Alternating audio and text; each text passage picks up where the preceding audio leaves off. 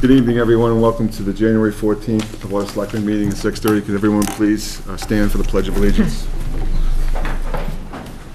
I pledge pledge allegiance to the flag of the United States of America and to the republic for which it stands, one nation, under God, indivisible, with liberty and justice for all. Thank you. Public announcements. Jim, you got one? Oh, boy. One. Uh, historian Dr. Gary Hylander discusses Ted Roosevelt's America on January 17th. The Abington Public Library is pleased to welcome back historian Gary Hylander on Thursday, January 17th at 7 PM. Dr. Hylander will share his knowledge and insights about the presidency of Theodore Roosevelt. Teddy had a larger-than-life personality and became president after the assassination of William McKinley in 1901. He was elected to a second term and served as president until 1909. Some of his greatest achievements as presidents were in the areas of conservation, including establishing national forests and foreign policy, creating a new role for the United States on the world stage. Registration is not necessary for this program. Up to 75 people will be accommodated on first-to-arrive basis. Dr. Hylander's lecture is funded by the state aid to public libraries. Also, on January 24th at 7 PM, Will Broussard, Outreach Coordinator for the Mount Washington Observatory, will share tales from the home of the world's worst weather at the Abington Public Library. That would be January 24th at 7 PM.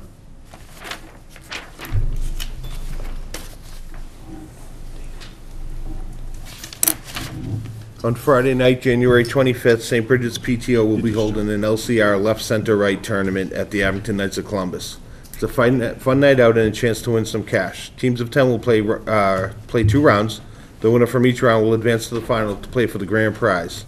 It's $20 per person or $200 for a table of 10. No experience needed, it's a very easy dice game anyone can play. Bring your own snacks, cash bar will be available. You do not need a full table to register, but registration forms will be sent home from school and sent, um, or, or send a message to, uh, and pay via Vimo, Vimo, Venmo, whatever that is, at, uh, SBS PTO. Thank you. Thank you, Ken. Ken, I have nothing tonight. you're up. I am. Uh, Annual town election, April 27, 2019. Nomination papers for the 2019 annual town elections are now available in the office of the town clerk. Incumbents who have three-year terms which expire with the annual town elections are Board of Selectmen Robert Manning Jr., Board of Assessors Ann T. Welch, Board of Health Teresa D. Mays, Alexander S. Hagerty, Sewer Commissioner Michael P. Donovan Sr., John E. Warner II. School Committee, Janet L. Cummings Leary, Trustees of Public Library, Carolyn Gorman Murray, Gerard F. Hass, Laura J. Nuttall. Water Commissioner Michael Egan. Incumbents who have five-year terms which expire with the annual town election are Planning Board Richard J. Collins II. All interested parties should take out nomination papers as soon as possible. Nomination papers must be returned to the Board of registrars by 5 PM on Monday, March 11, 2019. Any incumbent who does not plan to be a candidate in this year's election is requested to notify the town clerk in writing as soon as possible. Town clerk's office will be open for voter registration until 8 PM on Friday, April 5th, 2019, which will be the last day to register for the April 27th annual town election. Any questions about running for office in the town election or voter registration may call Leanne Adams at 781-982-2112. Thank you very much. Um, Just a reminder that the Abington St. Patrick's Day Parade will be held this year on Sunday, March 17th. Can you believe it, 40 years? It'll begin at 1 o'clock- 1 o'clock from St. Patrick's Square and continue north to North Abington Center. In relation to that, where the parade group is holding a meat raffle on February 14th, 2019, at the Polish Club on Whale Street in Abington, starting at 2 PM to raise funds to help pay for the parade.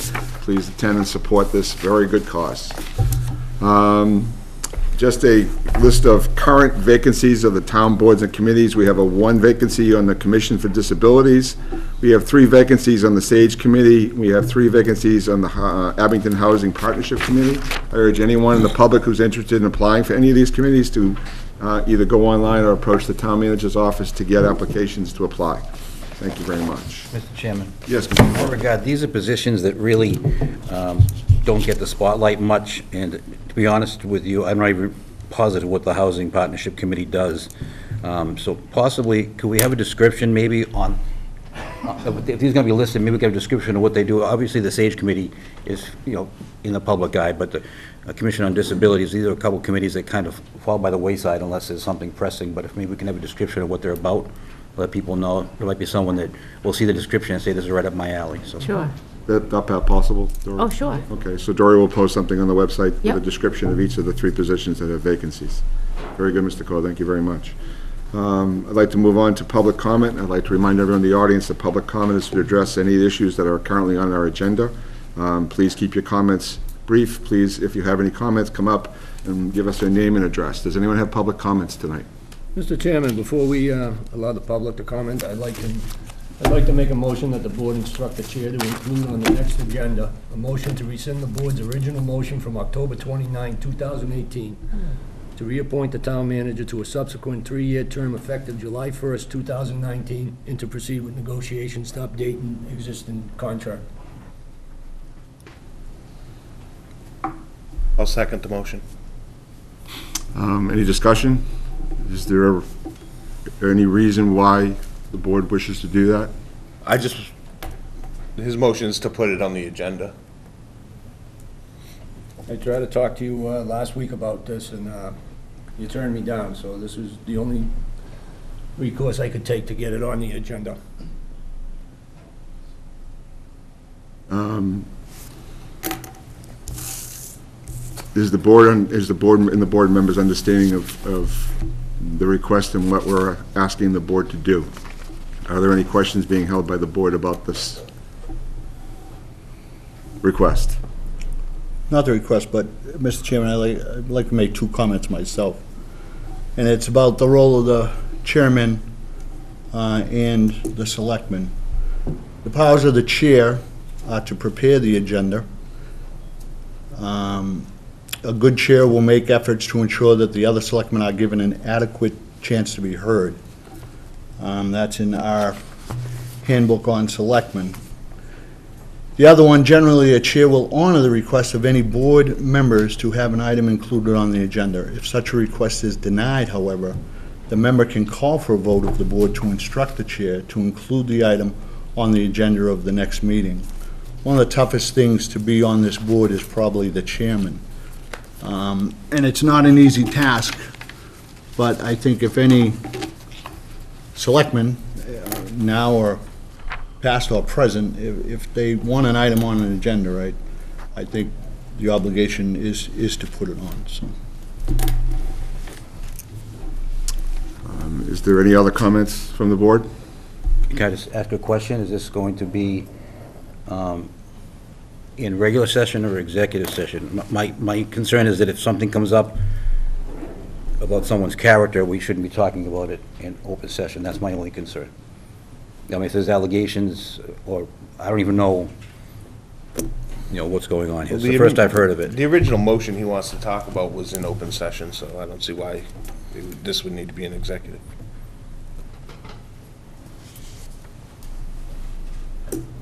Anything else?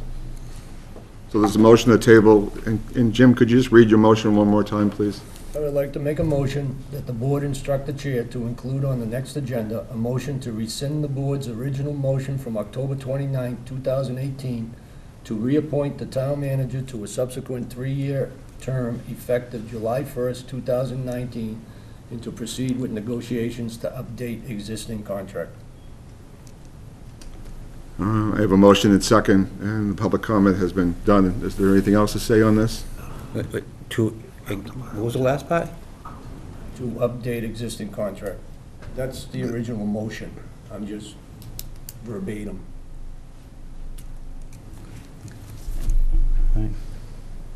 Well, um, I am not uh, opposed to putting this back on the agenda. Uh, If the board members are that strongly urging that they'd like to have this conversation, then I'm going to ask for a vote to agree with Jim Conley's request and ask for a vote of yea or nay. When, when's our next meeting? When are we scheduled for our next meeting? The next one was February 11th. February 11th. Is that gonna interfere with the time restraint? What time I mean, restraint? why don't we have one in Jan, the end of January? Well, that's not his motion, his motion is to have it at the next meeting.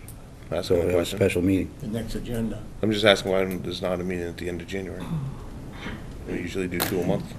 We haven't met twice a month in a long time. I don't Yeah, it's think. been, yeah, we don't have anything for the agenda, so, Most agendas are based We're on doing whether we once have a month, issues enough yeah. to, to hold a meeting, so. Mm-hmm. There hasn't been more than one meeting held for a bunch of, bunch of months. So we only have, generally have one meeting so far lately. But um, You may want to adjourn your meet, you may want to change your, that's Uh, what, that's the you plan want I'm trying make to, Another motion that we, we'll just amend it. all right. I'd like to make a motion, let me amend this. I would like to make a motion that the board instruct the chair to include on the next agenda, what date would be fine for everybody? Next Monday? Is that too That's- soon? Mon- It's a uh, holiday. Monday's a holiday, isn't it? it is. it is. So we could do it Tuesday or the Monday after that. 28th? Twenty is fine with me. Twenty-eight's fine with me. Tom? Yep. Fine. 28th.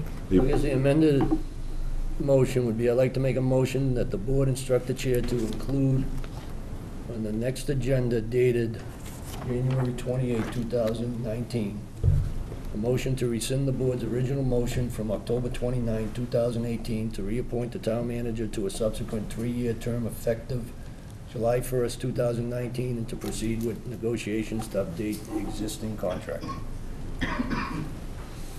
So worded, all in favor? Aye. Aye. Aye. Opposed? Opposed. Opposed? Three, two, it's put on the agenda, January 28th. January 28th. January 28th. And the, the chairman will have leniency to, if that's just going to be the only agenda right now, what, do you want to make it like a regular We can- meeting? we can or add more whatever, to it. It's If up- there's more stuff. Yeah, you might as If well. something comes up, Is that agreeable to the board? Yeah, whatever needs to be taken care of, we can do. Okay. So the meeting, When will- was the February meeting? February 11th.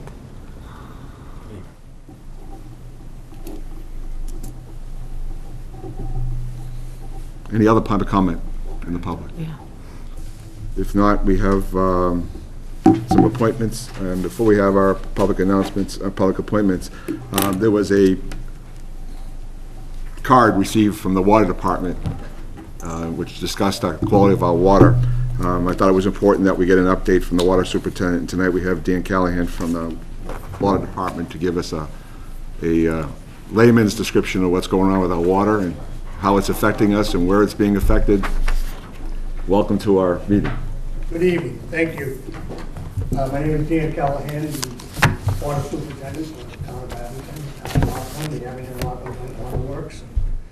You get all the gray here. Um, In a nutshell, the water is perfectly safe. We, it's because the guys are out there doing their job, testing the water regularly, that we find inadequacies. We did the last quarter, we test quarterly for trihalomethanes, which are basically byproducts of chlorine uh, mixing with organics. As you know, we all use chlorine, it's how you disinfect the water, to make it safe to drink. Um, The acceptable limit is 80 milligrams per liter. We had 85. Uh, And there was a note on the website that states equivocally, there is nothing wrong with the water, it's perfectly safe. Um, Being exposed to trihalomethanes can cause cancer. And this is the best part, in the long run, it can cause cancer. It can cause cancer if you're exposed to it for 70 years. We found it one quarter, up until we did that testing, and we test quarterly. Uh, Up until 2014, we used to take 15 samples every quarter, And then the EPA decided that it was more um, effective to take your worst four sites and test them quarterly instead of testing all 15. The other part of this is, unfortunately, when we get a hit like this, and we are very proactive on it, we have hired a uh, consultant to review our operations and find out, we know what the problem is. Um, Where this hit was, was over in Rockland, near the Norwell Town Line, Longwater Drive. There was nothing on 800 Brockton Ave, there was nothing at Colony Nursing, there was nothing at 899 Hingham Street, which are the other three sites. This one site had it.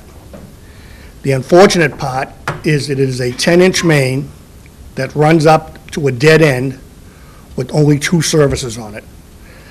And so the water gets stagnant, and that's what really caused the problem. Uh, What we are looking at doing now with the engineer's review and everything is to have, uh, we we call it a uh, a blow-off or a bleeder, so you're constantly running water up in that area, and you're dumping it to waste. But you have to move that water to stay on top of things of this nature. Again, I uh, applaud the staff that they're the ones out there doing the job every day. It was their efforts that found this before it became a major problem. Um, The sad part is, it was one location on Longwater Drive in Rockland, right down the street from there at 1099 Hingham Street, did not have a problem. But once it shows up in your system, we are required to notify everybody, all 12,000 customers. It really has nothing to do with Abington.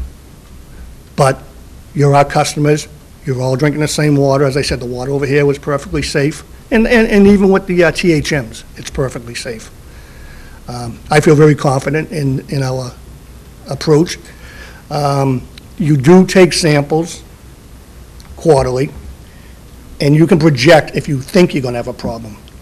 Well, our second round, I'm sorry, our third round in November, um, would have been September, uh, but in 2018 projected that we might have a problem in the fourth round. So we were proactive, we took our entire plant down, we drained it, we brought in contractors, we cleaned all the clear wells, we were very proactive on it, fired the plant back up, and the problem was still there, which at that point, we realized that it's, it's going to be the distribution system, the dead end out there. So, that's where we stand on that. Um, It's not a false alarm, but it's a false panic, because, uh, as, again, like I say, we have to notify 12,000 customers that we had one hit over the other side of town. We did have the similar type thing here in um, Abington about two, three years ago, and that was coming from Myers Ave. And that's because the pre-chlorination was mixing with the organics, creating the uh, disinfectant byproducts. What we did then is we revamped our whole design of the main at the treatment plant so that we were able to get our contact time for our chlorine, but do away with the pre-chlorination. The pre-chlorination was mixing with the organics causing a problem. It went away. So um, we, we have a pretty good system. An old system, but a pretty good system, and it's run uh, well by the uh, staff with the treatment plant and the distribution guys. So, that's where I stand on it. Any questions from the board? I have a question, but it's not relative to this, but it's, um, is there a better way of letting people know when you're gonna be flushing in their neighborhoods? I know we tried our best, you know, there- there's signs around town, it's on Facebook. Um, is there any better, is, is it possible to use like a reverse 911 to the residents in those? They, wa- we've, we've tried that, the police department will not Trying let to us, think of good because it's option. not an emergency. Right. But we have a flushing line that's advertised on all the websites, and when we're flushing, you call that line every day, and it tells, every day we change the message of the area we are in, so that, you know, um, that's the best way we can get the message out, that it's just dial the phone and, and find out where we are. And we also use that if we have a break in an area that's gonna cause, uh, unacceptable water. So, uh, We'll post that on our Facebook and our town website if, if it's not already. It's probably on the town. It is on the website, on the water Probably department not on website. Facebook. Can we put it on our Board of Selectmen website, Dory? Sure. You, do you know the number off? I of I don't, to tell you the truth. Um, Again, though, we flush twice a year, the spring and the fall. Uh, We will be getting ready to flush probably, we usually start around uh, late March, early April, uh, to get our spring flushing out there. And the- and the thing is that it- the reason we flush is to move this water along and keep it uh, safe to drink.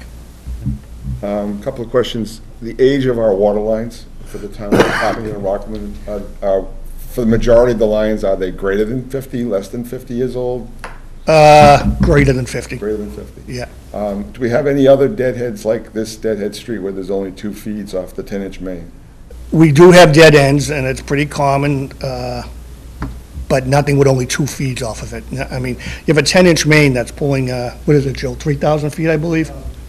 And, uh, you know, you you got 3,000 feet of 10-inch main water sitting there that just two services are coming off of. So is there, anything- I'm just asking a question because I don't know. Is there anything like a recyclatory pump that could be utilized to move the water inside the line so you don't have to drain it off and put it to waste? No, No, you just can't, you're constantly recycling the, wa- sort of like the hot and cold system you put under your sink to get the water to constantly circulate, so you always have hot water on demand under your sink. I didn't know if there was a way to get water in a- at a dead-end spot just to circulate around. yeah, but the So- problem is, if it gets, you got 3,000 feet of 10-inch main, you're down at the dead end, would- it it can be done. I don't know if there was a. Run I just another didn't know if there was 3,000 a feet valve that back. could Open and close and pull and push, that's all I was asking. Yeah, about. no, I mean, really. Instead of having to push the waste, but. Yeah. You gotta do what you have to do. Now, this is inside, is, this is not caused by the pipe itself though, right? This is a reaction of stagnant water sitting, correct? That that's. Pretty much, and it is, it- it, it could be the pipe too, like the age of the pipe, but, uh, it's mixing with organics. Organics get in the pipe, they sit in the pipe even sometimes when they get in there, but it, the, the longer it sits, the more apt you are to have a reaction. Okay. Um, So I assume we're going to be keeping a taut line on on this section of the pipe for a little while, just to make sure we're keeping the, Yes, we are. every time you take a hit, do you have to make a public announcement? Yes. We do it every quarter. Okay, Now, we'll be coming up in February, having to do this quarter. If it's a hit again, we have to notify all 12,000 people. okay. So this, this, I just want to remind the public that it's a possibility that, is for as long as this potentially could be a hit on our system, they are required by law to generate this identification to all members who use Abington Water, Rockland Water. Correct? And so you may be receiving more than one card. It's not a repeat, it's not a, it's not an accident. We're saying every time we, this happens, it's because there was a positive hit greater than .80 .80 for uh, trihalomethanes, for dry- For correct? So um, it's just important that the public understand that the water department is under regulation to supply this notification every time they do the test. And if it meets the standards of the test, you have to generate the mail out to the- all users of the water system. And, and and I agree, and the sad part is, we use the EPA's wording, and their wording is, there is nothing wrong with the water, this is not an emergency, you don't have to do anything, but we're But- telling you. But, yeah, it's the but that gets you every Yeah. time, so. Yeah. Is there anything else from the board? No, but you, you have some members of your board here tonight, or at least one you want to introduce? Yep, uh, I'd like to introduce uh, the chairman of the Abington Board, Richard Muncy, Thank you for coming out. and the assistant superintendent is here with us tonight, too, Joe Lapointe. Thank you very much. Appreciate you both being here and you being here. right. And Thank you for making. Thank you. We have a uh, public appointment. I'm going to open up a public hearing. The Board of Selectmen will hold a public hearing on May, Monday, January 14th, 2019, at 6:45 PM. We're a little late on that, uh, in the Carter Room at 500 Gliniewicz Way, on the application of Joa and Jardim Terra Nossa Center Market, Inc., 1501 Bedford Street, for the off-premises 15 package store wine and malt beverage license. I think we know them. Yes, we do. Good evening, Ron. How are you? Good evening. welcome, and let us know what's going on. Okay, thank you. My name is Ron Whitney. I have the pleasure of representing John Jardim here this evening. Uh, As you say, John Jardim is a familiar man here in the town of Abington. He owns Giordano's Restaurant right across the street here on Bedford Street. Has opened that up recently with his brother Edvar and his sister Ian. Uh, Prior to opening that restaurant, he was in business here in Abington for 14 years, running the Terra Nossa Center Market, which is down at, uh, I call it the Farmers Market Plaza, down by the uh, Weymouth uh, town line. And uh, so he's run that successfully for 14 years. Um, If I'm a little hoarse, it's because I was at the Patriots game yesterday. No excuses, no excuses. No bragging either. Please bear with me, please bear with me. 50-yard lines each, you know. Yeah. Uh, So he's run the uh, market successfully for 14 years. He employs 15 people. He did just become aware recently that there was a package uh, beer and wine license available, and so he asked that, uh, for my assistance applying for it, and that's the application that you have before you. Uh, The market operates from 6:30 a.m. until 9 p.m., uh, Monday through Friday, and on Saturday and Sunday, he opens at 8 a.m. and closes at 9 p.m. John is as hard-a-working guy as you'll find. He's in the restaurant and at the market, and as I say, he's assisted by his sister Ian and his brother Edvar. They all live in the area. John lives in uh, Whitman, and Ian is in Norton, Norton. and Norton. Michael- Michael live in Washington. and Edvar's in Rockland. Uh, So they're all local people, and he'd be happy to answer any questions that the board has. Does the board have any questions? I assume um, all the particulars have been asked, Dory, that we have all the re- respective responses from all public safety and everything. Yes, that there's no everything is in issues. order. Um, Taxes are in order. Yes. Is there any question, I I don't know the answer to this, the fact that he has a liquor license at the restaurant and he has now have a a second liquor license, is there a maximum number of licenses that can be owned by any particular party? I believe it's, State or- I believe it's three Is within it up the to three? I just want to make sure we're Yeah. we're overbearing. It's three, right? Yes. I think it is three, but I just wanted to make sure we were okay with that. Um, Again, is there any questions from the board? Now, there's a little restaurant in there too, correct? Yes. But this would be to- just to sell. No, I I don't want to serve, It just, just, Like, this yeah. is- just- Strictly a package license. Package, yeah. Yeah. I I guess my question to you is the hours, they're regulated by the town, aren't they? They can't be, I mean, this- if the store opens at 6:30, but they can't serve, they can't sell alcohol at 6:30, can they? Exactly. No, they wouldn't be able to sell Yeah, alcohol at well- 6:30. Is it 8 o'clock? Whatever the regulations is, we're going to Whatever. follow. Yeah, by the state, whatever the regulation is to sell alcohol retail. I think it's 8 o'clock, and on Sundays, 10. Yes, I Just think want to so. make sure that, It would be those And and the hours. weekdays is what? Eight, is it eight? pretty sure it's 8. I'm not think it's positive, eight. but I'm pretty sure it's 8. And Sunday 10. We can check that, though. Is this our last um, package store license? No, actually, there's, where the town is allowed seven. This license would make six, so there would still be one available. Okay. And this is a retail wine and malt license, like a Trucchi's, that type. Are there any other questions? If not, I'll accept the motion to accept the uh, malt and beer wis- license for Terra Nossa Center Market at 1501 Bedford Street, Abington, Mass. I just have one, more- one more question. Go ahead, Mr. Coyle. Um, Tips training, some employees are required to be tips trained, correct? Yes, I think there has to be somebody there at all times that's tips trained, or? I'm Yes. not positive about that, but, yes, there should be And somebody he's there. that's- prepared to comply with that, Mr. Gordon. Yes. Yeah. Yeah. Any other questions? All right, do I have a motion to accept? Make a motion to accept, uh, Conley makes a motion, do I have a second? I'll second. Tim seconds, is there any further comment? it is a public hearing. Oh, yes, sir. My name is Nazmul Chowdhury. I Microphone? own a small business. Would you come up to the microphone, please? Thank you. Name and your address, please. My name is Nazmul Chowdhury. I own a small business on the Route 18. My store name is Weymouth Food Mart. Its address is 1690 Main Street, the last building of the Weymouth. And the Terra Nossa, I guess, the first building of Abington on the Route 18. Okay. All right, my store is a convenience store, it's not a supermarket, but I have same thing, beer, wine, malt beverage license. And from my business, is Terra Nossa is few year, maybe just the FedEx street, whatever the street, Okay. that's it. Now, my question is, there is another malt beverage business on the other side, on the CVS, cross street from CVS, it's called Family Center Gas Station. they have a malt beverage. On the Route 18, same way, if you come this way, Abington, there is a Trucchi, they have a beer, wine, malt beverage. Mm-hmm. There's already three malt beverages on the street within one mile. Now, I'm the middle, and the Terra Nossa are ne- next to me. And uh, I'm so sorry, I don't, uh, my attorney is not with me because uh, he's a little engaged tonight. That's why I cannot bring him with me.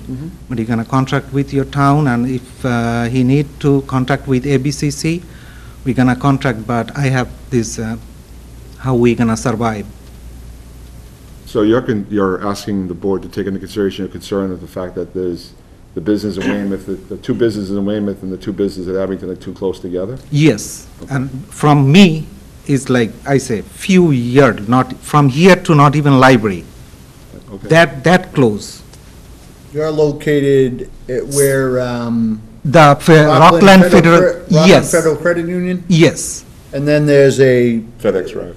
No, there's a Fed, but then there's, there's a road, and then uh, is... Yeah, the talking FedEx about truck. Where, yeah, and their building, yes, the Terra Nossa building, yes.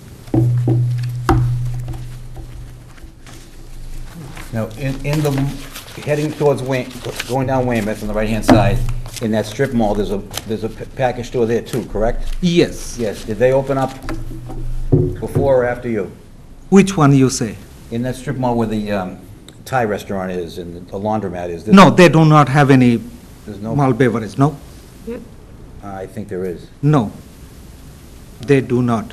They do not have any restaurant, they do not have A a. they- restaurant, there's, there's a Thai food No, restaurant. there. uh, yeah, they have a, you know, uh, on promises, not off promises, like, like us, malt beverage sell as a retailer, not off promises. The They have- Chinese restaurant in the same. Even outlet, in right? promises have their same complex, the, the, what is called Moto Garden, Right, there is a, they have a in promises too. okay. Well, we're, we're elected to represent the people of Abington and get well, ta- get tax uh, no, and I agree, and, and, and believe me, I, I use that, the package store that you're talking about, I use that, um, you know, but also, I, I can't, no, not a lot, not a lot, but, I- but I, I feel the same way, I can't, It's too I under- close. I understand about, bid- and I understand what you're saying about it's too close, but it, sometimes when I look at it, it's, sometimes I can't, and, and it's, and it was even before the construction on Route 18, um, you know, unfortunately, sometimes getting into where you are Yes. is difficult, traffic-wise or something like that. Yeah, He's it's- going to, he's gonna have the same problem, but. The, you know, construction is construction, it killing us anyway, no matter what, next three, Yeah. four years. No, we are almost surviving kind of situation, you know, they are supermarket, and, But I also think that you'll find that uh, this gentleman runs a supermarket. It's been there forever, and this is just another convenience for their customers. The the ability to bu- to buy alcohol there. It's not, I don't think they're going to get a lot, an awful lot of people just going in there to buy the alcohol. They're going to frequent the restaurant that's there, and they're going to yeah, frequent but uh, the food Weymouth that's Food. Mart is for almost nine years, they're selling alcohol too. Mm-hmm. Yeah, I don't, I don't think it's our place on a board to regulate competition. No, I mean. No, it I'm be it not, Weymouth I'm or not, I I'm not asking for There's a Burger King competition. next to every McDonald's, and it just, they both survive, and it makes them better. That's what competition does. So, I say good luck to you, and if his license passes tonight, good luck to him. Do you have anything else? No. I'm giving you the opportunity. Well, n- no, I, I, Tim, and I, heard- I heard what he said. You said you're not asking about competition, so what are you asking? I mean, what? the Asking for ABC is- the ABC, uh, is- I'm, I'm sorry, ABC w- is gonna, I'm assuming is gonna approve this, so. Again, No, my thing is, is too close. It's not town fight, it's not competition, it's not quality. My question is too close, these two alcohol retailers. That is my question. But, but I agree with Tim, you know, and I hate to say that, but if you have a Burger King and a McDonald's, they're, they're, they're too close and they do the same product. Um, You know, unfortunately, it- it's, I guess it's the nature of the And business. to be honest with you, there's still one more license left, and if someone was to say, I want to open up one across the street from the Brazilian supermarket, I'd be okay with that too. There used to be one there years ago, but um, it's just the way it is, I'm sorry. Okay, thank you very much. You're welcome. Is there any other public comment on this? I'm Sorry, you're right, thank you very much, Kenny, for bringing that up, because the public is welcome to make a comment. If there's anybody, as abutters or anyone who wants to make a comment on this, feel free to step to the phone. Well, I make a motion to close the public hearing. Um, Then I can have a motion to close the public hearing. Uh, I think we have to down the board to, to close the public hearing. Is it a voice vote or an individual vote? I apologize. No, just like a regular vote. Vote to close the public hearing. Do I have a first, um, um, second on that? I'll second. Uh, Tom seconds that. Anything further to be said? All in favor, say aye to close the public hearing. Aye. Opposed? It's fi- unanimous, five zero. Uh, Do we vote to approve the ter, I think we already had a motion. we have a motion to approve in second, correct? Yeah. Um, Is there anything further to say on that? If not, can I have a motion to approve the license? All in favor, say aye. Aye. Opposed? No, it's five zero. Congratulations. Thank you very much. Thank you.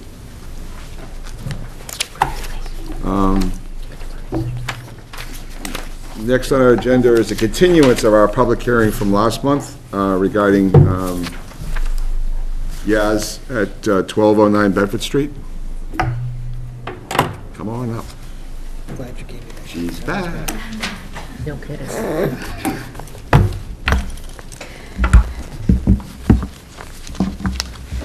So, when we last spoke, we had some concerns about the design of the outside uh, area, and you were going to try to address that in the time frame that we had between that last meeting and this meeting. Yes. You've been able to do that. Yes, I am. Okay, so would you like to talk about that? Absolutely. I actually um, put together a little Thank you. packet of the draw out.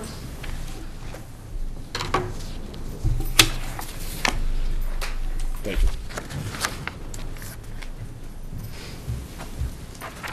And um, what was in question is the barrier for my- the separation of Cream, the ice cream shop, and my side for Yaz's table. So if you notice, the last page is um, a picture of a fence. And that is actually exactly the same material that is currently on the property that divides the, both patios to the street. So on the first page, it'll say existing fence at the very top, and that is um, the exact same that you see on page three. So I'm just in the accordance of that, where the two lines separate, I'll have the, ex- a fence that will be going down both ends, and then also with a gate that will swing, and that will close the walkway in front of the glass, um, where the restaurant is when you first go into it. That will allow from people not able, once they have, sitting on the patio, they'll be able to um, be enclosed, so no one can just sneak on the patio without um, being noticed. They'd have to actually open, physically open the gates. There would be a protection on that side. And that would be closed after hours. I think that was what was in question as far as the- for the alcohol being served on the patio.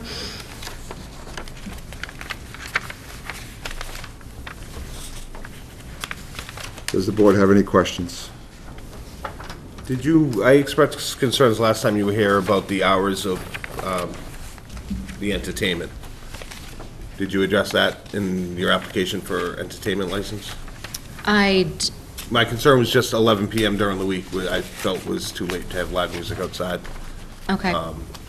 And I think we had ta- spoken about, what was it, 10, in correlates to what? I was thinking um, more around nine, but Nine o'clock. And is that in the same for the establishment next to me with that, um, that's the what we were gonna look at. Yeah, we were Okay. gonna look at what time, I, Joe, I believe this was just weekends till 8 o'clock, but Okay. not sure if we found that to be, Do we have that information? For the- The permit for the, um, Establish- The Ale House? The Ale They had uh, weekend entertainment on the, on the, I believe it's 8 o'clock On the weekend? on the weekends. I will double check that, on the though. weekdays is the same, or? nothing during the week. Nothing on the week, nothing during the Yeah, week there, just right? Weekends. inside.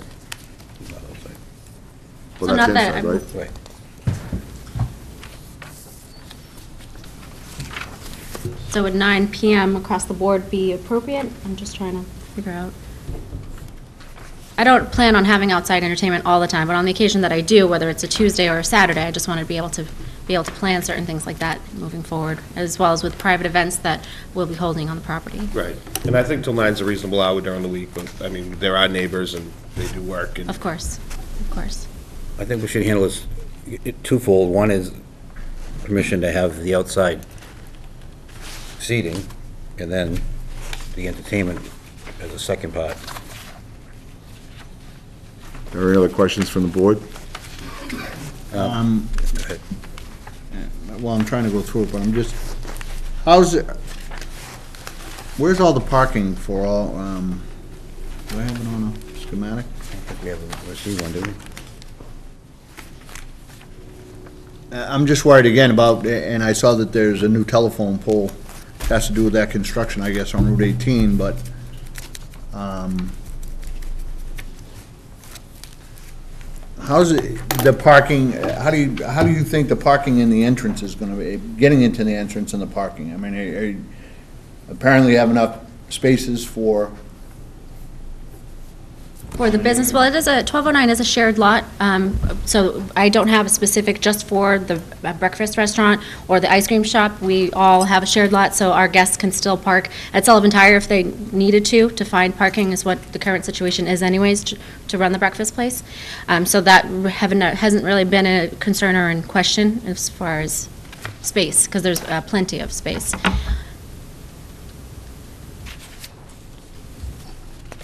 Any other questions on the board? Is there any other pump, is there a public concern? Yes, please.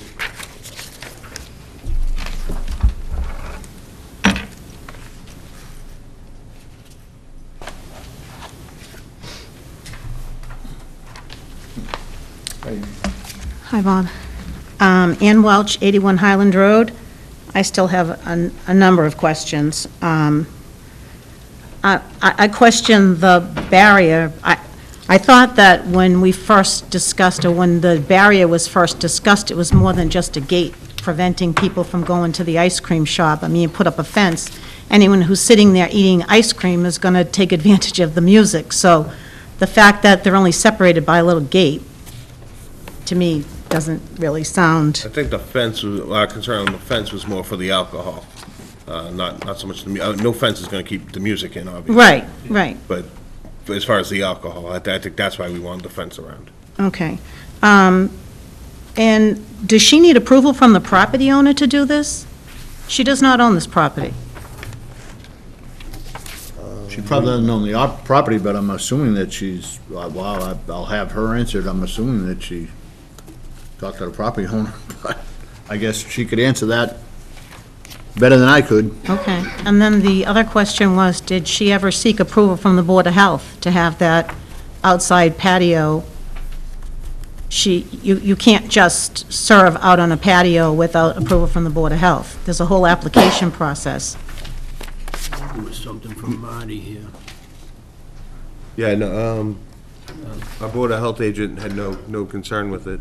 But she's got to, there's an application process, so she has to submit an application and go before the Board of Health.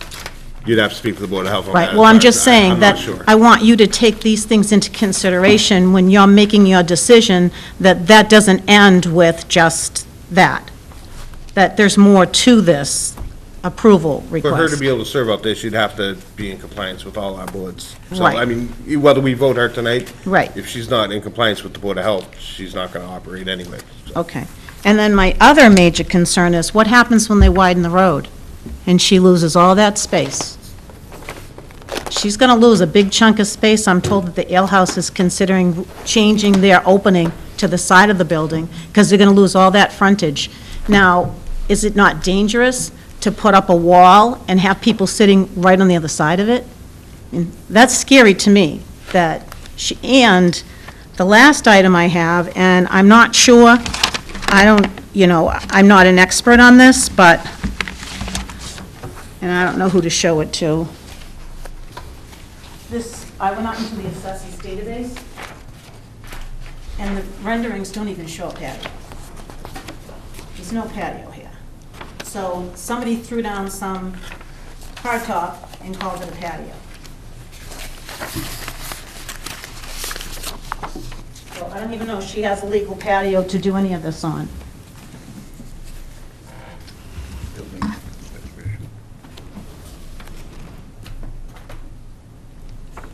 And I don't fault her, because I'm sure when she moved into the, the premise, there were tables and chairs out there.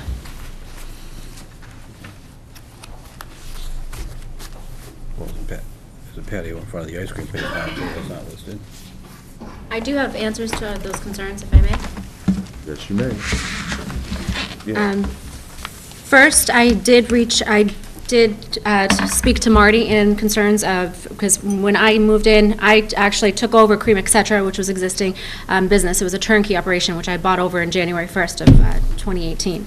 And it wasn't until March 8th when I turned it into Yaz's Table, then having to reapply for everything, making sure everything was in coincide for the establishment. Uh, With that being said, uh, when Marty had come down to approve for the, to do his first initial expect, um, inspection, he also inspected outside for the patio, seeing that the premises had a patio, and that was part of the, um, whether it was 50 people or if it was 75 people, regardless of the count of guests that we were approved for, patio was part of the premises. The only thing that came into, into question was the application for the liquor license, which was not existent when I took over Cream Et Cetera. That's where there was a lack of verbiage in that application saying that there was a patio. Whether, it- if I had said that in the beginning, just for the application to the ABCC, this wouldn't be in question, it would just be a matter of, is it 50 people or 75 guests to be able to serve that? So that's why everything had to come into reapplication on that sense, which had come to light the night that I did have an event outside. Um, But with that being said, for the Board of Health is concerned, I am covered and approved to be able to serve um, food outside. And we're Do you just, have- do you have a copy of that application approved by them? I can certainly get that, Okay. absolutely. Um, The other part uh, for the, the drawing that I had given you as well for the uh, concern for the um, double lane on Route 18, you'll see where I have here, it says new telephone pole, w- uh, right in front of the existing fence. From the t- telephone pole to the street currently is at 20 feet. So for the town to be able to create a double lane, they would be taking 12 feet of that going towards uh, the fence, which then still uh, leaves eight feet before the telephone pole that had come in. From the telephone pole to the actual patio is another 10 feet.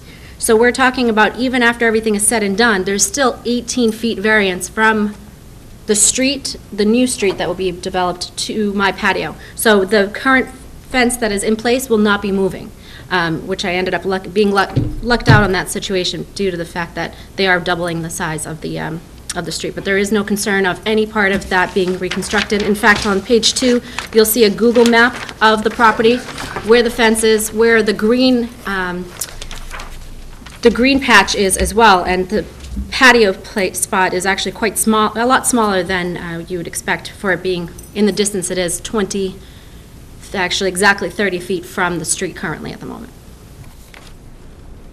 Because that was part of my concern as well, for my own patrons and their No, safety, I- of course. And I would still And that actually question was that part. rendering, because, you know, where they're gonna take it is all that, all that green grass. And you- you- once you lose that, you've just got that little white picket fence. Just to show you, just so you're aware as well, because I understand your concern being that, um, so this is where the new telephone pole is. This is the existing fence, so the f- pole is here right now. They Right. wouldn't go behind to take up any No, no, of no, this But what I'm, space. is this the street? No, this is my building, this is my patio, this is the greenery around my patio, and then this is the fence, and then about 20 feet head will be, the is the street. That So it's- wasn't my understanding. But again, you can see In from the other words, Google they're not map. ta, they're not taking out your fence. They're not taking out my fence, No, they're I they're didn't not going think they were into taking my. the fence, but I thought that they were gonna take all the land up to the fence. But they already put in a telephone pole, why would they?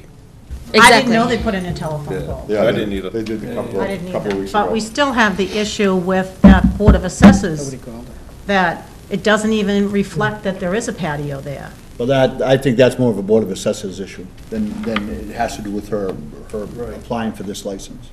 That's, that's what I believe. And there was one other question, uh, you talked to the owner of the building? I- Yes, I- he's well I know aware. there's a copy of the lease in here, but I'm not. I didn't go Absolutely. through it. He's well He's aware well of what my plans were from the beginning, because that was also based on whether or not I wanted to take over this property to have, y- to open Yaz's table and do that. Liability insurance didn't have a Exactly. problem with it or anything? No, and they were well aware of They that would be as the well. first one that you were putting people in danger. Correct. They had assessed the property, they had said that there was absolutely, you know, there was no question as far as um, not wanting to be able to have something like this outside. And you shared parking with um, Sullivan Tire, or stuff like that. The entire property, which is a good and bad thing, but at least good in the sense that even if people are on a wait at the restaurant, like on a Saturday or Sunday, where there isn't parking, they will be able to find parking in the back, and all that is approved by the landlord. He's the same landlord that owns the entire property, so it was his rules saying that it was a shared um, parking lot amongst all the establishments that are on the property itself, including the church that's right next door to me as well. Um, So that's part of, These yellow lines are gonna be picket fence, like, that will be the identical same material that I have currently in the um, existing fence. What I will do is I'll extend it around the yellow, uh, where you see the yellow border. swing gate.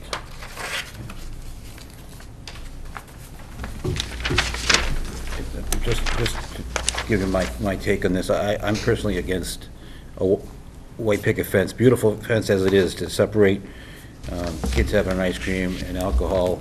I mean, anybody can just hop the fence, climb over the fence. I, I just assumed, um, for security reasons and for soundproofing reasons, that it would be a regular, tall fence. that would keep the sound in. Unfortunately, I do agree with you on that sense. Um, However, unfortunately, because of the visibility of my building and the street view, that would actually be obstructed to people not being able to see the establishment driving by. I get it. Yeah. And it just says the premises must be enclosed by a fence, rope, or other means to prevent access from a public walkway. Which I believe that this structure does follow under that guidelines. Better than the rope. Right. Which was part of the- one of the ideas, but then everything with uh, being aesthetically appeasing as well, in that sense. And I'm not sure there's a public walkway there anyway, so. There's no sidewalk there.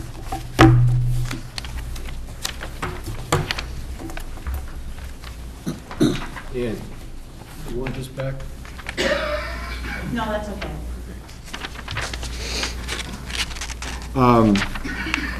Point taken by Ian uh, on the assessor's plot plan, there is no uh, patio. Uh, I don't know if that means anything to the town assessor, but uh, I'd like to ma- make a note that the town assessor's been made aware of that. Definitely. Please and thank you. I mean, they can certainly go out, and they've done it before, to take pictures of, of any of the dwellings, so they, it's just not on here, but they can certainly do that, so. I don't know if it's on record or not. They may already know about it. I don't know, but it's point taken. But may I ask, what would that um, put me if that ended up being a situation? Probably the the lo- landowner would I probably. think the landowner's in trouble, not you. Okay. The building owner's in trouble, not you. I Trouble, mean, but- You're a renter. You're- I don't think, Right, Your taxes are gonna go up. There's. Your taxes aren't gonna change. okay. So, There's a problem. You might want to extend your lease now before. I think so. I'm showing up late to the party here, but uh, the hours, have you guys talked about the hours? I get No, we're just doing the outside seating right now. Oh, And okay. then we'll go back. Okay, all right. try to keep it. so we, we did ask her to come back with some discussion on, on the seating and the fence. Uh, She did do that. Uh, Does anybody have any questions on any other part of the enclosure piece of this?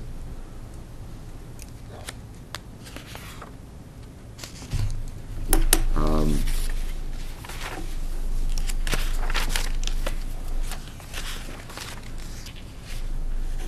So we agreed to do this in, in two parts, I believe. One was for the patio and then one was for the hours, so. Is there a specific license she's looking, a specific motion for the patio? Is it part of the entertainment, uh, Kenny, or is it all one thing, or? Well, I'm just, I'm just, for my own benefit, you know, the alcohol and then the live music, so there's an entertainment license, and then there's gonna be the alcohol portion, correct? The alcohol portion would be the alteration of premise. Alteration of Yep, premise. and the entertainment license would be separate. Do we want to uh, talk about the hours now, before we vote for the application for the entertainment? It's a little confusing, because I know, uh, as the owner stated at the last meeting, um, the restaurant's not really open at night, but you have functions at night, correct? Is that what Correct. I, I had it where I'm s- um, a- allowed to s- uh, keep the restaurant open until midnight every single day. Having that in my future plans, I may actually open for dinner. I may open for dinner for three nights a week and then have the rest of the uh, week for private events. I was just kind of having it where, you know, I was still free to be able to figure out what I wanted to do and, and how to go about it. As far as the entertainment license goes, the, the application for the license that's in front of me still has Monday through Friday, eight AM to midnight, and Saturday to Sunday, eight AM to midnight. I'm not gonna vote to approve that. Understanding, understood. Do we have a bylaw about how long, what time for live entertainment outside? Is outside? I- I'm not, I, I don't like the idea of midnight either, but I don't wanna say something if there's a bylaw that protects you. I believe it's in our options to set the policy for It would be hours your of decision, operation. exactly, yep. Now, on the common vic license, it has different hours than are on the alcohol beverage license. Which ones are, take precedent, or which I ones do are? believe you were looking at cream, et cetera, as common vic hours, not my current Yaz's Table hours. That's also been a confusion with, um, with a lot of the applications in going back in reference to what cream was and what I, Yaz's Table is. Both say under. yes, there's table on them, but So on my common vic, um, in front of you, what are the hours that you have? See, one of them was dated January 10th, 2018, and one is Janu, uh, April 26th, 2018. April 26th would be um, after Yaz's Table is opened. Actually, what, there's a new, there's a new one out now, right? The- The one that you- we show says till 10 PM, but you- you, For Common Vic, hours of operation? that's the one that's here, but I think you had it t- midnight? To midnight. Wasn't that the, the? I think that was the confusion. Right, I think that is the, where, um, Still a confusion. to allow to be open until, until midnight. And then your, I know your Common Vic says till 10 PM, so I, I think that's what we need to get the hours ironed out. Mm-hmm. Now, these, both these ones that I'm looking at expired in 2018, so there, there must be a new one with, do- do we have, can we look at the new one with Yeah, and it says, the Common Vic says till 10, It- The new one says. enclosed Mondays? yes, Are you sure? enclosed, let me check. As it should.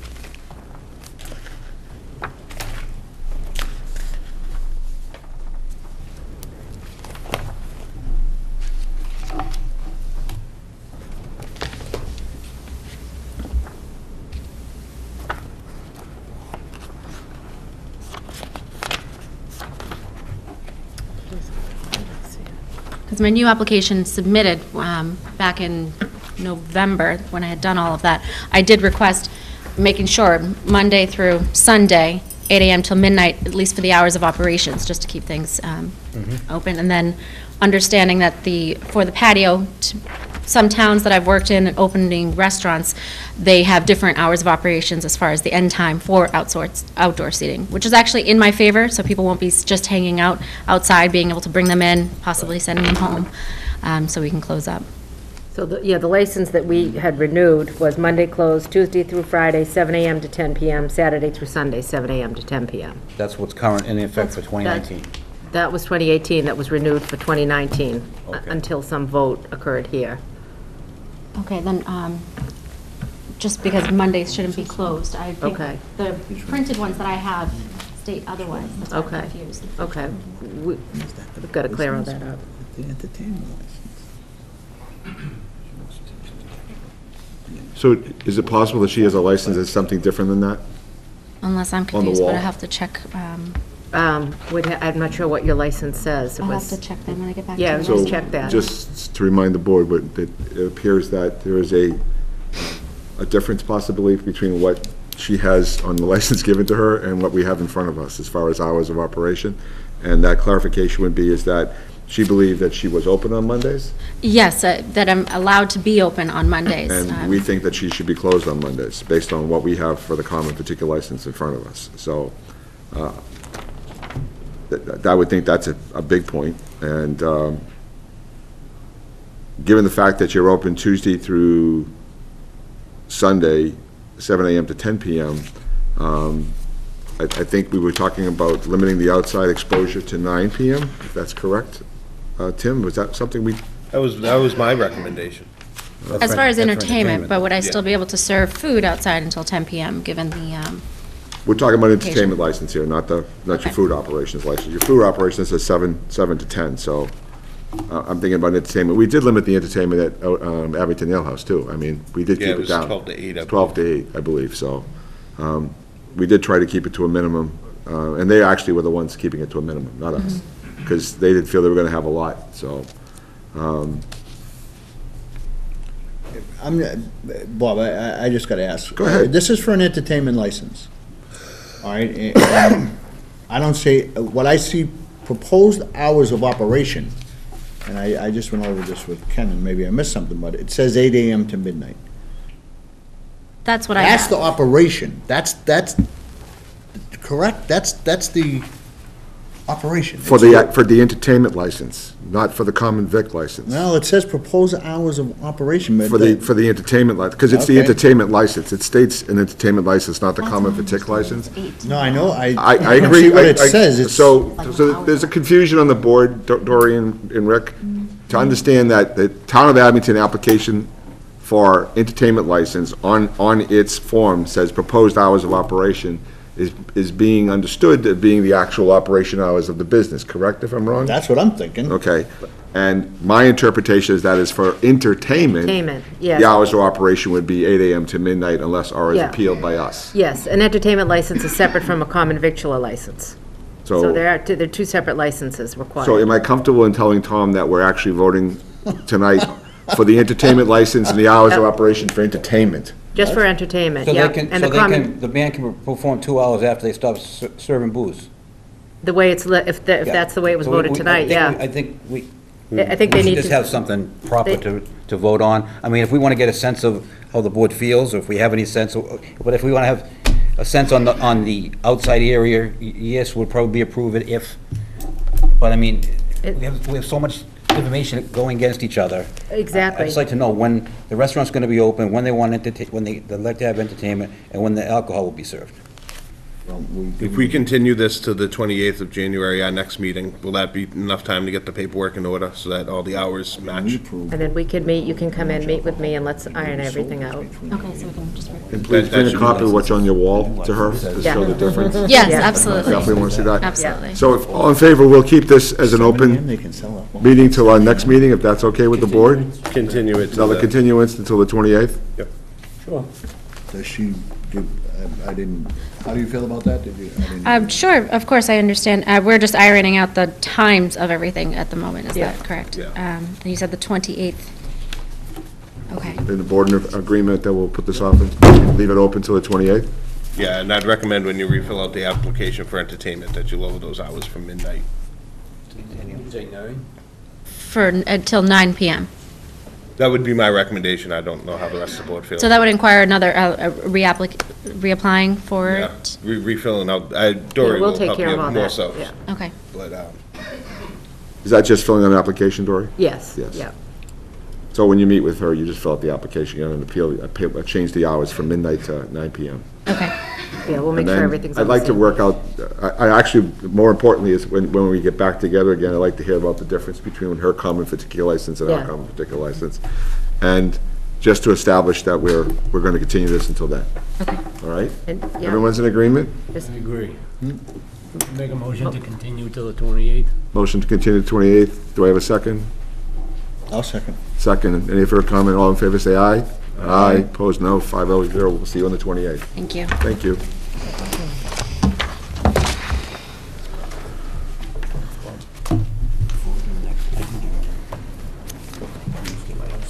I don't know, should we? We Shouldn't have done that in public comment? Should I ask the board if they're in favor of that? I'm asking the board. Do you care? No? I think we should introduce her. Okay. Courtesy, we done. Thank you to the board. Um, I'd I'd also like to point out in our audience tonight, uh, our newly elected representative Alyson Sullivan is in the audience. I'd like to come up and just say hello.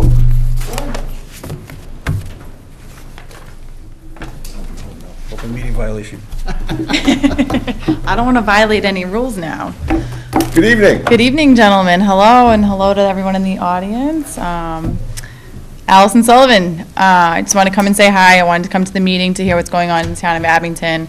We have bill filing deadlines uh, Friday, so I wanted to come discuss with the board after meetings, uh, if anything that needs to be proposed on my behalf on the state level. Uh, Let you all know that my eyes and ears are open, my door's always open. Um, My website is up and, uh, not my website, my email is up, to- up and active, so it's alyson.sullivan@mass, mahouse.gov.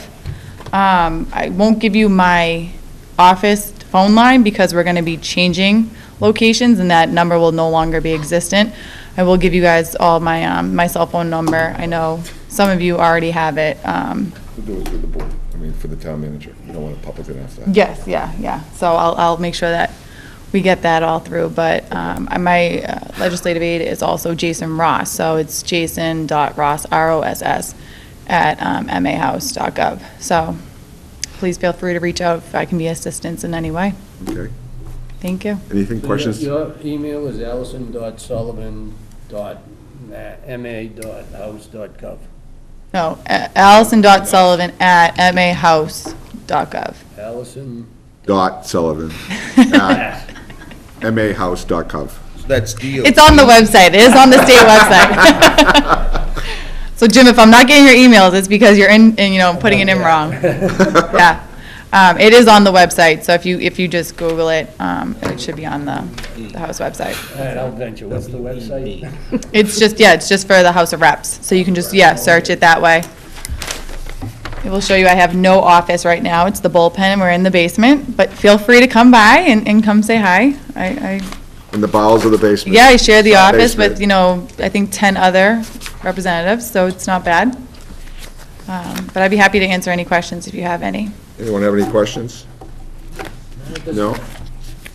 Again, congratulations. Thank you. Welcome to the uh, public domain, and thank you for your service. Thank you, thank you. Uh, Next on our agenda is the approval of December 18th, 2018 open, open and executive session minutes. I'll take a motion when ready.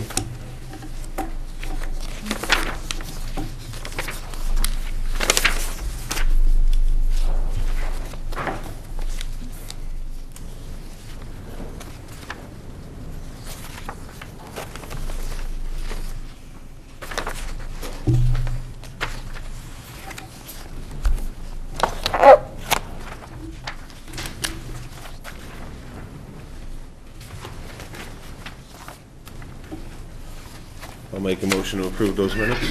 Motion is made to approve the minutes. Do I have a second? I'll second.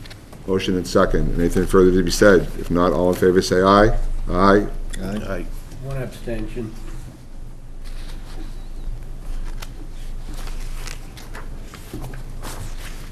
Executive session.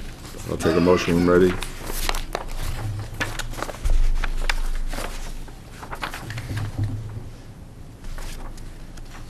What's the term we use, Ho- and hold until?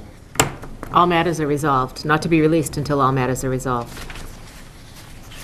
Uh, I'll make that motion to approve. Motion to approve unless, until all matters are resolved. Do I have a second? I'll second. Anything further to be said? If Not, all in favor, say aye. Aye. It's one. And I abstain. Opposed? Is it unanimous? Well, Almost unanimous. No, I abstain. I'm sorry, 401. Thank you very much. Um, Appointment to the treasurer tax uh, collectors list as, as title custodian, Mr. Chairman, I mean, uh, Mr. Town Manager. Yeah, yes, Mr. Chairman, this is a requirement for the uh, tax title custodian to pursue the uh, um, tax title properties as well as uh, any surplus properties to dispose of on behalf of the town. Um, The treasurer collector has historically been in that position. However, uh, it's been many, many years since there's been an appointment of such, and it is recommended that uh, going forward, there be a tax title custodian by position named by the board. Is This is replacing the existing title? Um, I'm sorry? This replace the existing title that? No, it's not the title, it's, a- it's a certain function that the treasurer collector would be entitled, would, would would be able to perform on behalf of the town as, ta- as the tax title custodian. Uh, Is there any requirement that, to- are all requirements met to meet, to to appoint this Uh, title? yes, yes, it's, it's just simply uh, designating a, a position to act in this capacity. Any questions from the board? No. No, I'll take a motion to approve the uh, town manager's request to um, appoint the treasurer collector as the tax title custodian. I'll make that motion to appoint the treasurer collector as the tax title custodian. Do I have a second? No second. Jim seconds. Any further to be said? If not, all in favor, say aye. Aye. Opposed, no. That's unanimous. Thank you very much, gentlemen. One, one uh, more point there, Mr. Chairman, also in, uh, if you look at my memo on the subject, uh, the treasurer collector has informed us that the town does have a, a- a dated bylaw with regard to tax possession, tax taking, and that uh, she would proceed al- with, her- in, along the lines stated in the state statute, which, uh, again, the bylaw, the old bylaw is, in- is not consistent with. So that's just more of a informational for you. Thank you very much.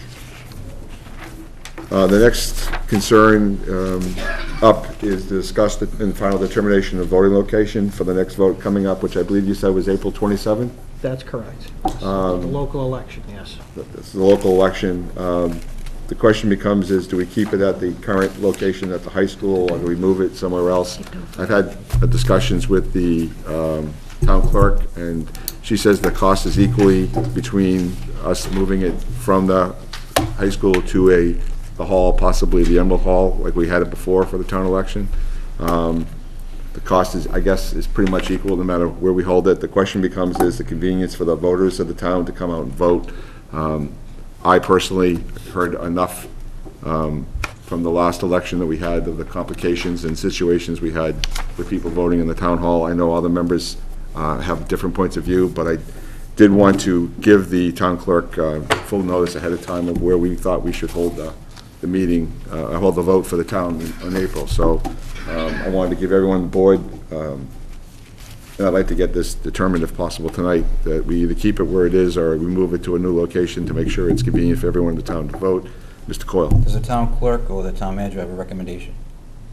Well, the town clerk has uh, given, has passed along her recommendation to me, one, that the, uh, that the uh, election coming up, the, the, uh, the town election uh, would not be an issue because it's on a Saturday, but going beyond that, with the major elections, presidential, primary and election, that uh, she doesn't believe that the, the high school is an appropriate facility for several reasons. Number one, the traffic flow, uh, getting people in and out of the, not just the facility, uh, the parking, but the building.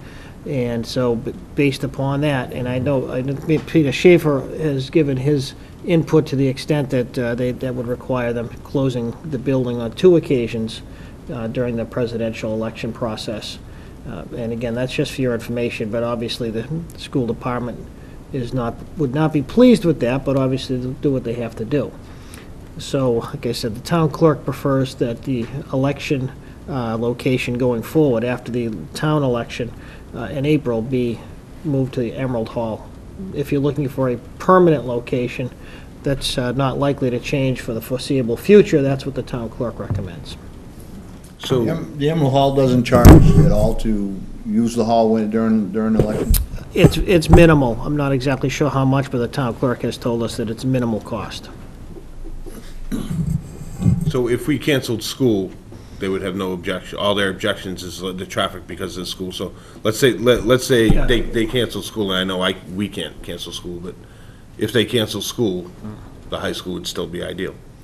No, it wouldn't be ideal according to uh, the town clerk, the ideal situation, because you still have staff there, you have, uh, you have other people in the building. It's not like the the building would be completely cleaned out.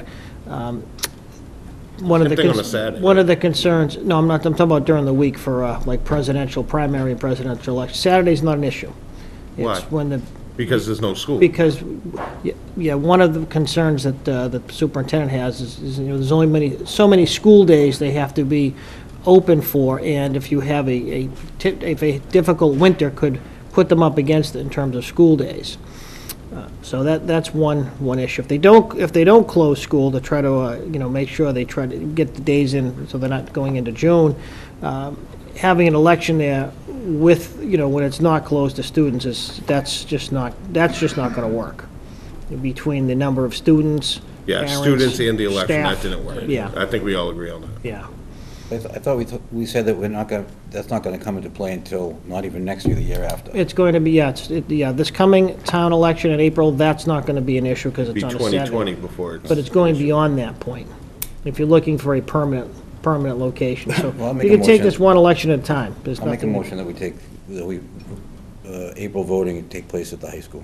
I- I'm sorry, the joint middle school, high school, Yeah, pre-K, right. whatever you want to call it. The expensive building, For the town election. town elections. I'll second that motion. Motion and second. Is there anything further to be said? If not, all in favor, say aye. Aye. Aye, opposed? It's unanimous. High school be it. Um, What I would like to do is, after the town election, revisit this issue, see if it goes smoother this election.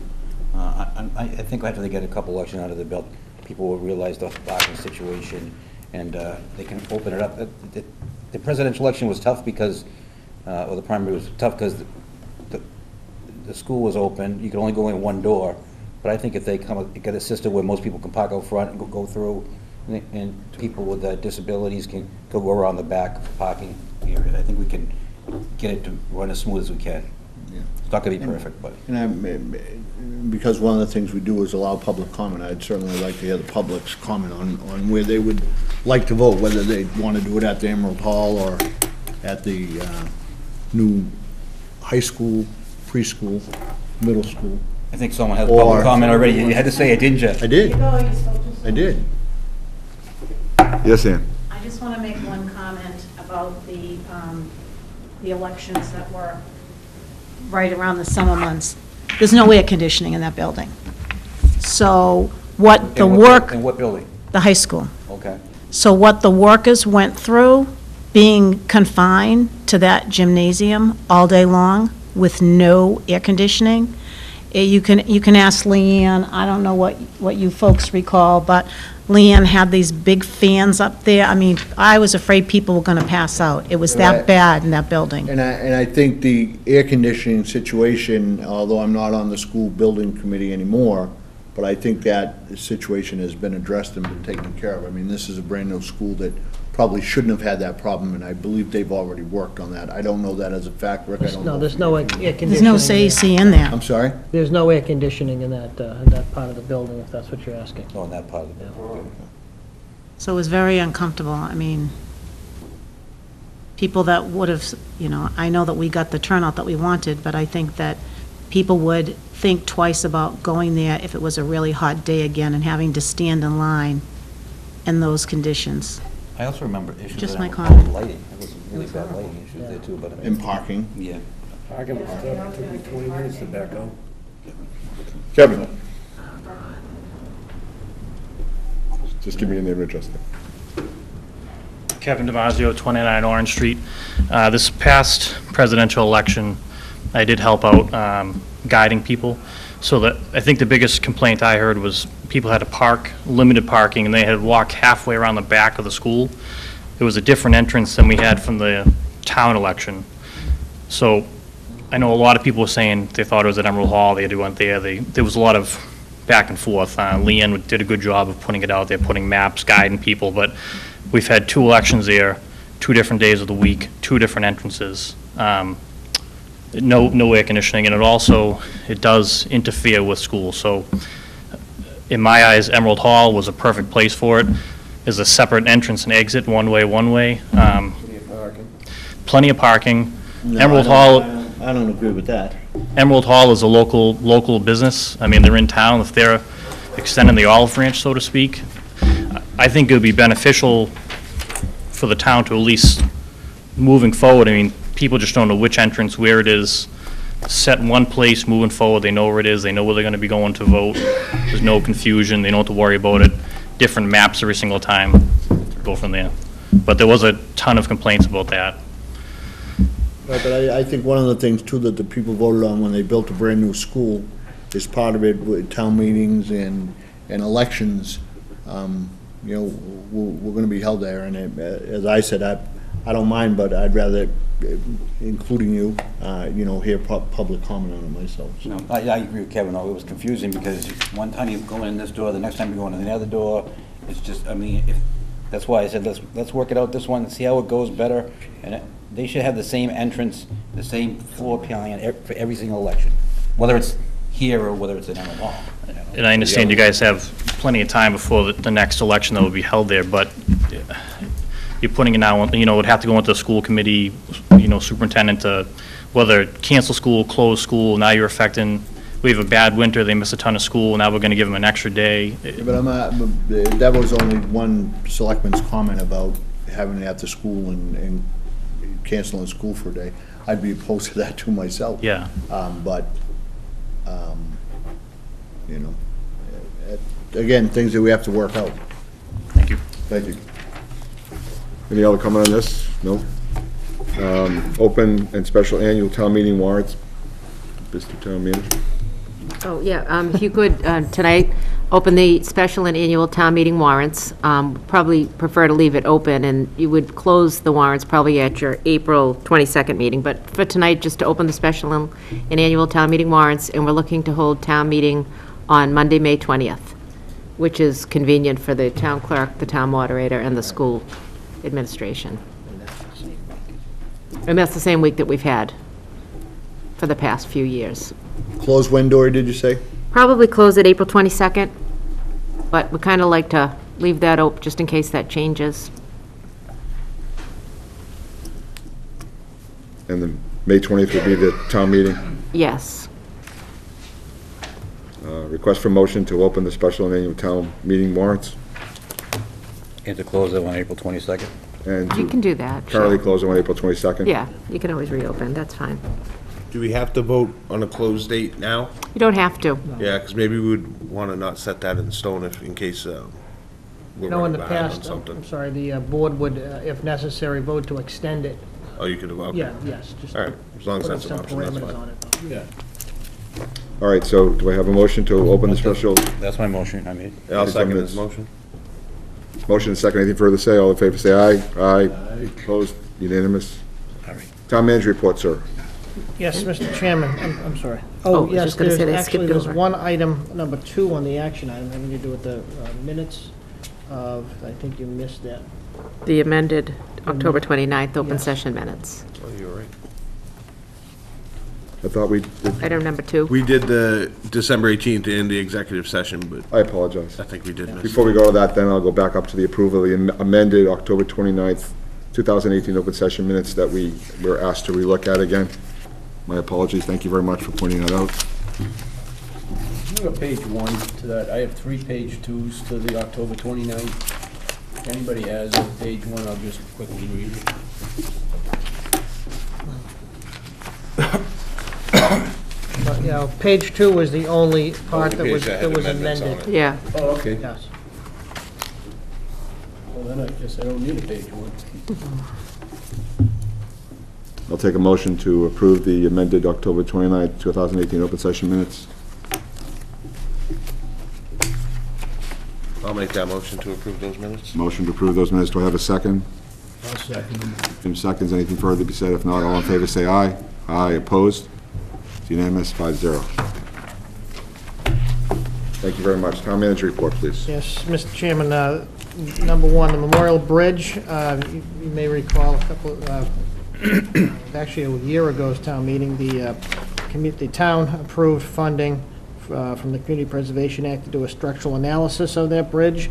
Um, We have just uh, opened the bids, actually, we only got one, one bidder, uh, who met technical specifications, and we're currently waiting for the uh, financial proposal um, and to determine if we have available funding.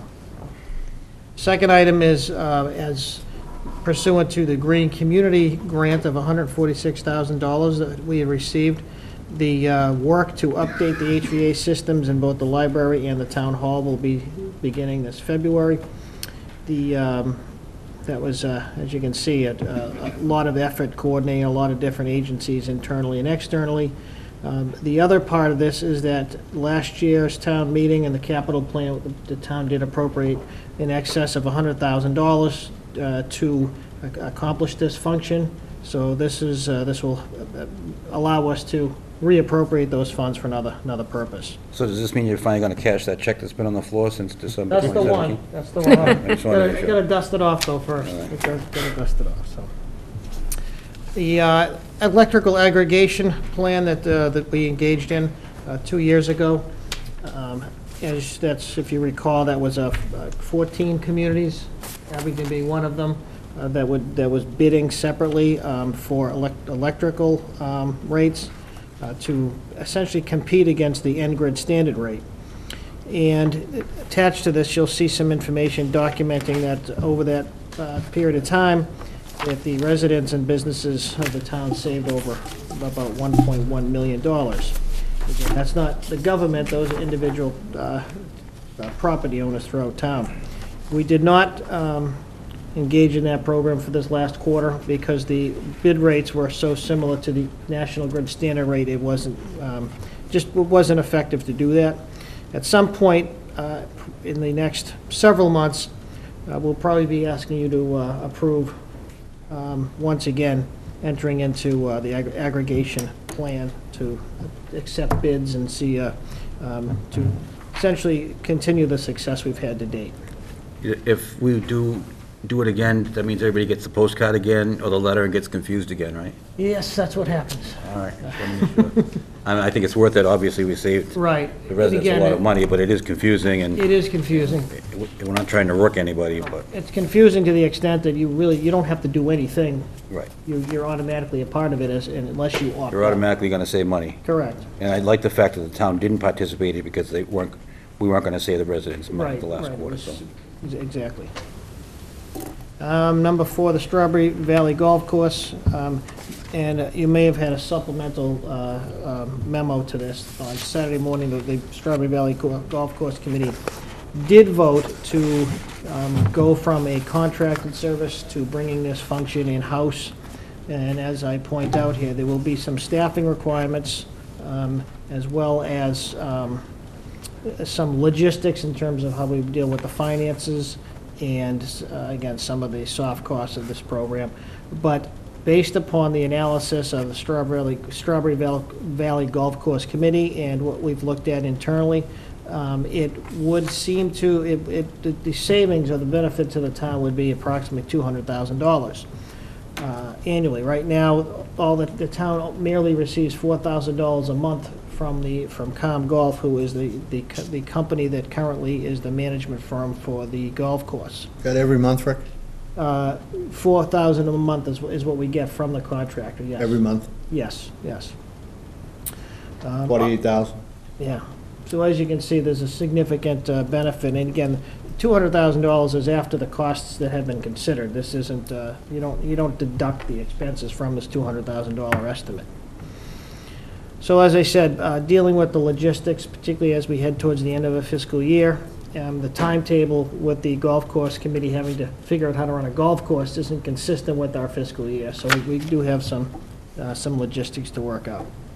Is there, any- are there any uh, liability issues for the town that weren't there, that will be uh, added? Yes, the, the town will have, uh, will be under the town's insurance umbrella, and that is one of the, the costs that would be paid for also, um, or or recouped from the, the enterprise fund. Now, people uh, are going to be hired to do this, I Yes. assume. Would- Yes. They will be considered town employees? That's correct. Okay. And this 200,000 is i- i- including their costs in- into That it, is, so- that is the, uh, the, the financial benefit after those costs, uh, personnel, um, expenses, and other soft costs uh, that uh, pertain to personnel. There's only going to be um, one full-time, uh, two full-time individuals up there, the superintendent, um, and the rest will be only either seasonal full-time or, um, or part-time. So the- there won't be other benefits that are attributable to anybo- anybody but one and maybe two positions. There'll be some, you know, there'll be some deductions and there'll be workers' comp assessments, but those aren't, those aren't uh, significant. And those startup costs, like buying all the equipment and stuff, does, that's the enterprise fund that's gonna come out of? That's correct. And, and. There's enough to cover all that? Right, and the golf course is, uh, is proposing, and it makes no sense to do otherwise, to purchase the existing equipment from Com Golf, who um, is essentially going out of business. So they've they've got some estimates on, on how much that's gonna cost them to purchase the existing So equipment. we'd own that equipment outright? That's correct. And then, so next year, that two hundred thousand might be three hundred? Or we may have to buy Yeah, more I think, I equipment. think we'll have to see how that first year goes, yeah. Uh, One of the, uh, the issues is obviously golf carts. And they, they're, I know they're looking at different options, you know, uh, lease purchases rather than outright or buying used equipment. Uh, used golf carts as an example from um, some higher-end golf courses that turn their golf carts over uh, on a fairly regular basis. So those are some of the um, uh, factors they're looking at at the moment. Uh, So this is going to, I think, over the first year, kind of play itself out a little bit, um, no pun intended. So you- you're anticipating this golf season, or this year, or, or now, it's, it- they've taken it over? Y- Yes, yes, because, you know, that, either that or they'd have to, you know, uh, contract again with, and, and that's just not feasible. Because no, no firm is going to um, provide the infrastructure investment for such a short, maybe one-year period. Um, As they mentioned, I think, before, the golf course committee had been looking at this for maybe next year. Um, But the contract they have with Com Golf, because of the procurement requirements, it was a three-year contract, it had already been extended to the extent allowed by, by law. So it was a move that really had to be made now rather than in the future. And this will be no burden on the DPW, they'll, they will not be involved in it? No, No. no, this will be a separate enterprise fund with its own separate expenses, et cetera, yes. And reporting to you? Well, well, through the golf course committee, uh, that would be the, if you want to call that the immediate supervisor department, it would be the golf course committee. And they're hiring everybody? and- Well, technically, the the hiring is at the, is at the level of town manager, but obviously with the recommendation of the, of the Okay. golf course committee.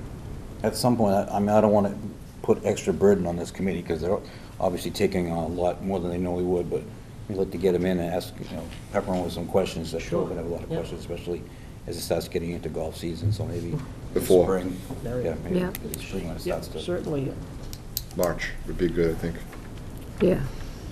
And two, two last items. Uh, One, the, uh, the Exedra monument out here, some of them known as the Revolutionary War Monument at the, uh, at the Circle at t- Town Hall.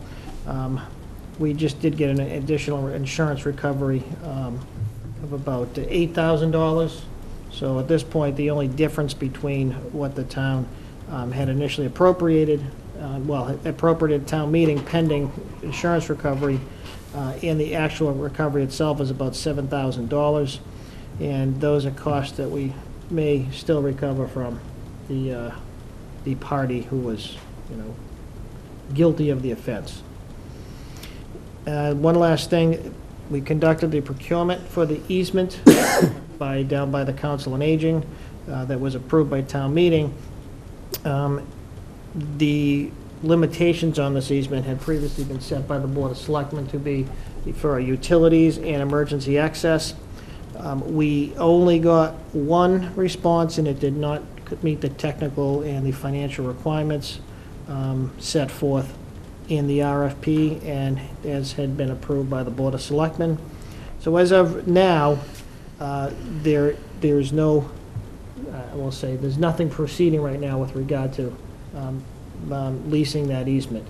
Uh, That doesn't mean in the future, um, this won't come up again with a spe- specific request.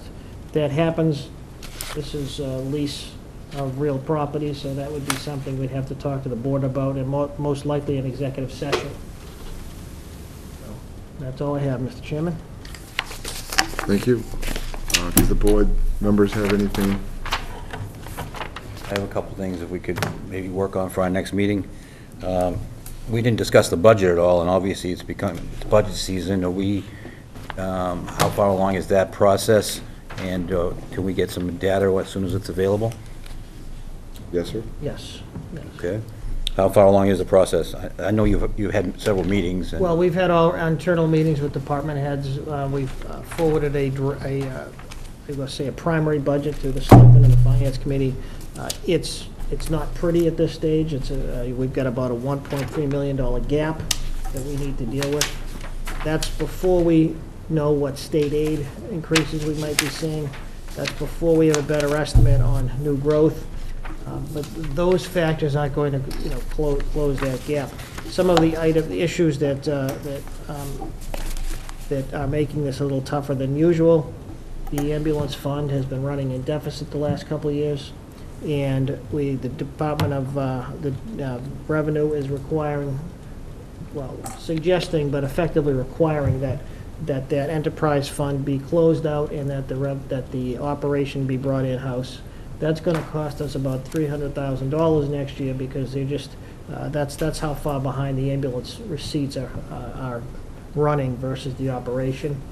One of the other factors is that um, this year, you all know about the cost, of- to some extent, the cost of recycling, and that's pushing the, uh, the amount about $200,000 above the, um, the overrides that have been uh, voted to support that service for um, two, two overrides over the past, uh, in years past. So that's a significant issue and likely going to become more of a factor. So how the town wishes to maybe deal with that becomes a, a policy issue. Uh, But as of right now, those are some gaps we have to fill.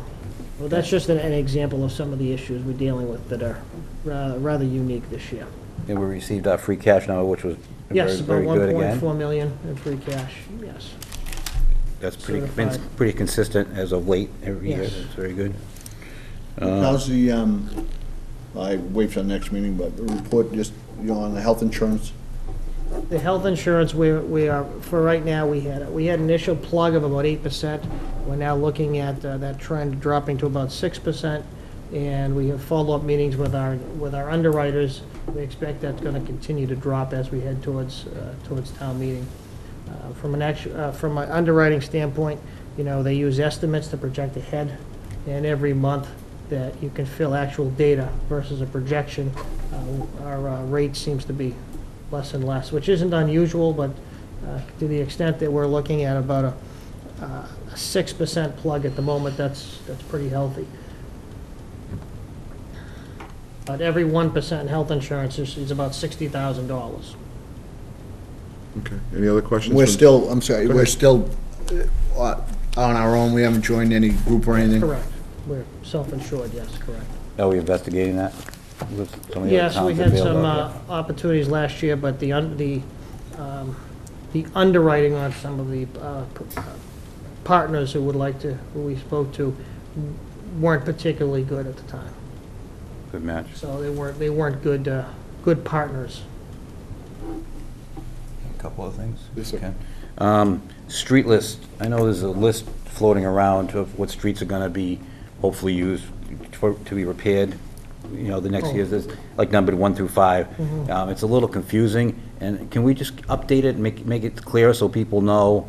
Um, We'll have an idea, I know it depends on what, what you get for chapter three, uh, be money, but, I mean, there's a plan in place for the streets, and it, it would be nice if people ask, if they could sit, we could tell them, I mean, you look at this list, and if you're number one, that's hopefully this year, number two is that, or it's vice versa, is five, is, it's a little confusing, so maybe we can update that, I don't think it's been updated for a little while. Um, North School, were we gonna talk about that this meeting, or what- was our plan on that, do we know? I believe we're, I, I- maybe I'm wrong, but I thought we were gonna wait for the town meeting and the fire chief's, uh, pre- presentation to the, to the town meeting.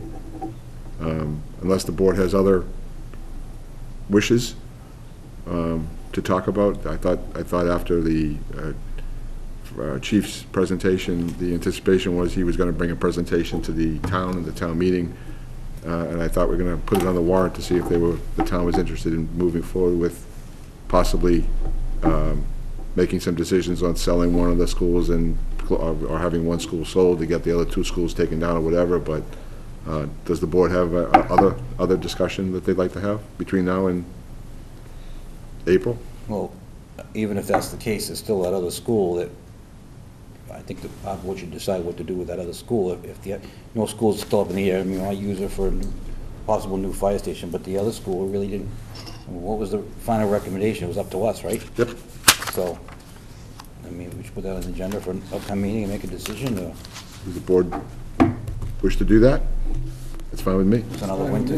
Yeah, It's just another winter where it's sitting there vacant, and All right. we have, I think we have to pay for a little bit of heat to get, keep it running, so we might as well. Would you like to discuss that on the 28th? That soon enough? That's fine. Okay. Can we put that on the agenda, for Yep. the schools, please? Um, Anything else, Ken? Uh, Surplus land, we talked about uh, Brock, are you going to follow Brockton's plan maybe and um, have auction, auction off some surplus land, or are you looking? Yes, that's what uh, the uh, treasurer collector's working on, which, which is one of the reasons why the town needed a tax title custodian. Okay? Could you, uh, just, on the next town managers meeting, just maybe update us on where he is on that, please? And I guess the last thing that I have is, um, one of the hottest things, being a selectman, and the most complaints are about speeding on your street, and intersections, dangerous intersections. Um, You know, I think we pushed to get the Route 18, the- the light, the left-hand turn. I know that was a fiasco for the first couple of days, but I haven't heard anything out- about that, so I guess it's working better, that light. But I mean, there's intersections in town. Uh, When I first got on, I really pushed for that intersection, uh, Washington and Adams, so the fork in the road where the park is. to get- I mean, that- there's, a- that's a problem, and I think there's got to, there's a redesign of that coming up, I think, when he talked about that, but. I There's mean, one in Groveland and um, Linwood that that's- we've that's- heard that's the complaints big one. about, so. And, and we actually, when I first got on the board, um, there were complaints about excessive speeding from that intersection down to the Brockton line, you know, and there was a bump there, and a lot of people complained about it. I just don't know what we can do other than ask Old Colony Planning Council to investigate that intersection, possibly. Uh, it's just blinking lights now, I think. Is it blinking yellow and red? Linwood and Green. Um, Groveland and Linwood, there is Well, there's no, nothing. there's no lights. there's nothing. There's two Just stop intersections. signs right now. Yeah. Um, and I can give an update here. That's a tough thing to say. There- there- There's a lot of, and if you, if, on- once you mention one, people are gonna be, oh, this intersection. Right, yeah, And and it's, but- the nature of the, I mean, I, I had to drive down to um, Atlanta this weekend, and I just couldn't believe how many people just not paying attention and, and driving out of lanes. It, it's texting and speeding, and it's just a combination of things. I'm not blaming, but there's bad intersections in town, but I'm just saying, bad drivers contribute a lot. Welcome to my world, I do it every day. Yeah, exactly, so. But, um, no, actually, as far as that intersection goes, um, John Stone emailed, emailed me tonight, because I had, uh, emailed him on Saturday, and he, when, um, one of the, a few of the residents had emailed me asking me to look into it. And he did notice that there is a, um, the intersection is dim, like the resident said. Uh, he's calling National Grid first thing tomorrow to have that bulb replaced. So that should, um, help out with the lighting. They cut some brush back, um, today, and they, um, let's see, he, um, oh, he's getting permission from a res, another resident on Groveland Street to cut some of their, uh, their tree back that's on, ti- that's, uh, coming close to town property.